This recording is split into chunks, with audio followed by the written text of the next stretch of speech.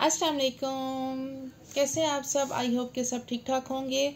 आज मैं आपको बताऊँगी कि इस फॉर्म के साथ हम बैक कॉमिंग के लिए पफ कैसे काटेंगे। यह एक बहुत ही इजी तरीका है, बहुत ही मज़े का है, जिसको मैं अपने बॉलर पे इस्तेमाल भी करती हूँ। जैसे कि लोगों को अक्सर इतराज़ होता है क्लाइंट्स को कि हमारे बालों को, हमारे बाल ख़राब हो जाते हैं टीच करने के बाद मतलब बैक कॉम जैसे बालों को टीच करके की जाती है फुल बालों को टीच कर दिया जाता है, उसके बाद बाल काफ़ी ख़राब हो जाते हैं। अक्सर क्लाइंट्स कहती हैं कि बाल टूटने लग जाते हैं, उनको कंघी करते हुए। तो उसके लिए इजी तरीका यही है कि आप ये ऐसे, ये आम पेंट्स वाली शॉप से भी मिल जाता है, ये फॉर्म अगर आप वहाँ से नहीं तो आप किसी भी मेट्रस वगैरह, जैसे फॉर्म वगैरह सोफ़ों के लिए मिलते हैं, वहाँ से फॉर्म परचेज़ कर सकते हैं। उसके, वैसे पेंट शॉप से ये लेना ज़्यादा इजी है।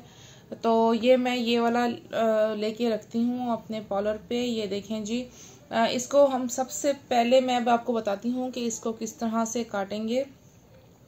सबसे पहले ये, इसका ये पीस पूरा हमने निकाल लेना है इस कैंची की मदद से। मैं आपको अभी काट के दिखाती हूँ।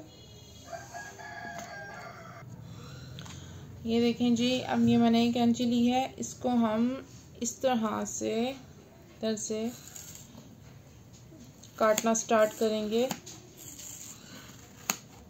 अगर कैंची के साथ आपसे ना कटे इजीली तो आप किसी कटर का यूज़ भी कर सकते हैं इस फॉर्म के फॉर्म को काटने के लिए, इस हिस्से को अलग करने के लिए।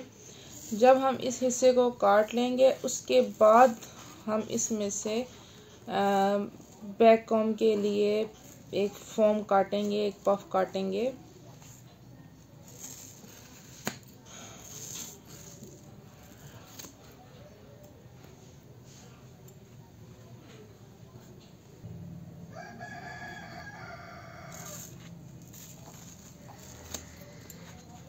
इस तरह से, इसको दरमियान से भी फिर काटें।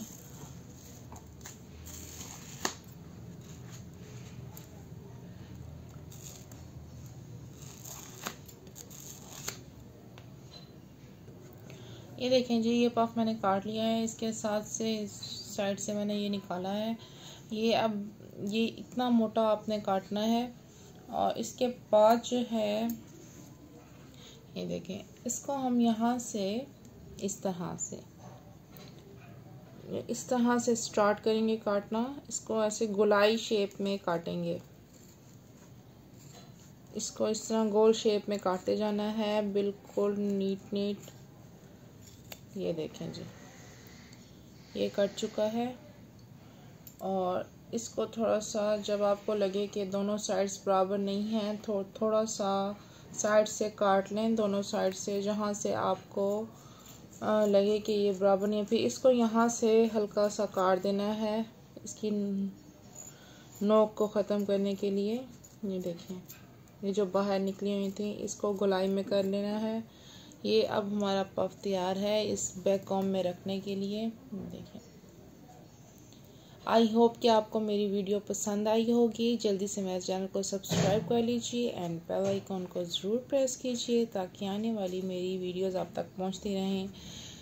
और ऐसी ही टिप्स एंड सीक्रेट्स मैं आपके साथ शेयर करती रहूँ। थैंक्स फॉर वॉचिंग अल्लाह हाफिज़